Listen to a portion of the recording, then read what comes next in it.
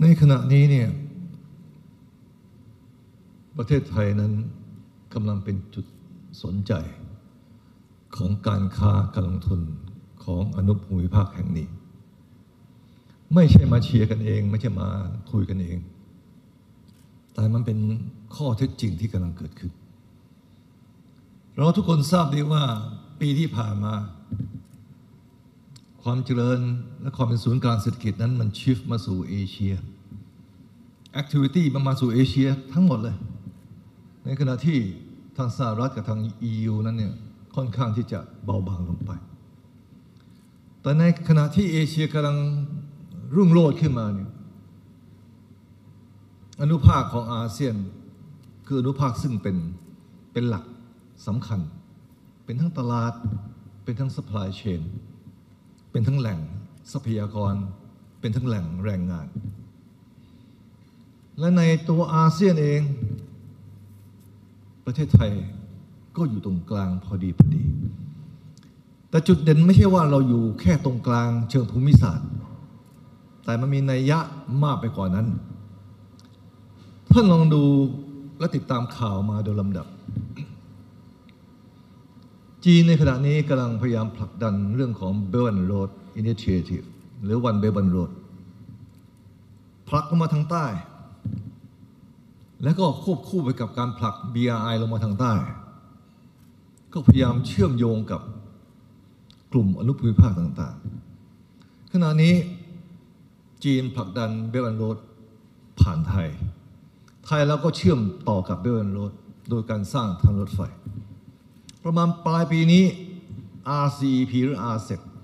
คาดว่าเท่าที่ได้ข่าวมานะครับ คาดว่าจะสามารถประกาศได้ประมาณปลายปีนี้ Belt and Road กับ RCEP นั้นมันไปด้วยกัน ความสำคัญของ Belt and Road ไม่ใช่แค่สร้างทางรถไฟ แต่มันคือการ mobilize ทุนกำลังการลงทุนทั้งหลายให้ลงมาคู่ขนานกับเส้นทางรถไฟ สิ่งที่รัฐบาลพยายามทำก็คือว่า เราเชื่อมโยงกับ Greater Bay Area ซึ่งเป็นหัวใจหลักของจีนในขณะนี้ ในการผลักดันการลงทุนลงสู่ใต้ Greater Bay Area ประกอบด้วยฮ่องกงมาเก๊าแล้วก็กวางโจวข่าวเมื่อสองวันนี้เขากำลังจะเปิดสะพานเชื่อม ให้ฮ่องกงเนี่ยสามารถเชื่อมต่อกับแผ่นดินใหญ่ได้ เพื่อให้กำลังของ Greater Bay Area นั้น เป็นตัวที่เขาเรียกอะไรคล้ายๆ Silicon Valley ของจีน และกลุ่มนี้ก็กำลังจะเข้ามาแต่อาเซียนผ่านไทย ฉะนั้นเส้นทางตั้งแต่ฉงฉงชิ่งลงมา แล้วก็ไม่ว่าทางเมืองต่างๆ ที่มีการพัฒนา ก็จะไล่มาตามเบลเวนโรดเนี่ยลงมาผ่านไทยไปมาเลเซีย ไปสิงคโปร์ ถ้าเขาจะไปสิงคโปร์ยังไงก็ต้องผ่านไทย ฉะนั้นการที่ท่านรองนายกหวังหยงเมื่อสองสัปดาห์ที่แล้ว พากำลังคนมาถึง 600 คน พารัฐวิสาหกิจมาถึง 108 แห่ง ในนั้น 32 แห่งเป็นระดับ Top Fortune 500 ไม่เคยปรากฏในประวัติศาสตร์มาก่อนที่กำลังนักลงทุนจากจีนนั้นไปประเทศใดประเทศหนึ่ง มากเท่าขนาดอย่างนั้น มันไม่ได้หมายความว่าเขารักประเทศไทยพิเศษอะ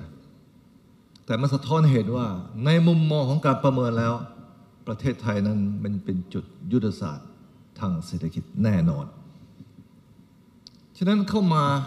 แล้วเขาก็ไปดูทุกแห่ง ฉะนั้นนี่คือเส้นทางที่มันกำลังจะมาผ่านเมืองไทยตะวันออกตะวันตก เขากำลังโปรโมทอินโดแปซิฟิก ระหว่างอินเดีย ญี่ปุ่น สหรัฐอเมริกาจากออกไปสู่ตก เส้นทางเส้นนี้คอนเซปต์นี้เมื่อมันพัฒนาเต็มที่ ประเทศไทยนั้นอยู่ตรงจุดตัดพอดีพอดีระหว่างเหนือใต้กับออกตก ถ้าเราสามารถเส้นทางสร้างเส้นทางรถไฟ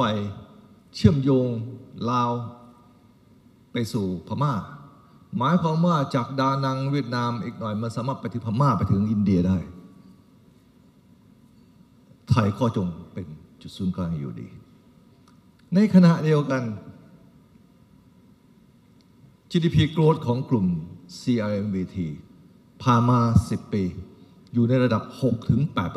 8สูงสุดทีเดียวในบรรดาการเติบโตทางเศรษฐกิจในโลกนี้นะครับ ฉะนั้น6ถึง8ของ CRMT หรือประมาณ4ถึง5ของอาเซียน มันก็ทำให้บริเวณแถบนี้ มันเป็นแหล่งความเจริญแห่งอนาคต อันนี้แน่นอนเลย ไม่แปลกใจเลยว่าทำไมเวลาบริษัทใหญ่ ๆ ที่มาลงทุน BOI ในอดีตนั้นมาเพราะประเทศไทย มาเพราะเวียดนาม แต่เดี๋ยวนี้ไม่ได้มาเพราะประเทศหนึ่งประเทศใด มาเพื่อตั้งหลักตรงนี้เนี่ยเป็นศูนย์กลางเพื่อกระจายไปสู่ประเทศรอบข้าง ไม่มีใครที่มาลงทุนแค่ว่ามา serve market ในเมืองไทยอย่างเดียว เขามาเพื่อปักหลัก ขายพม่า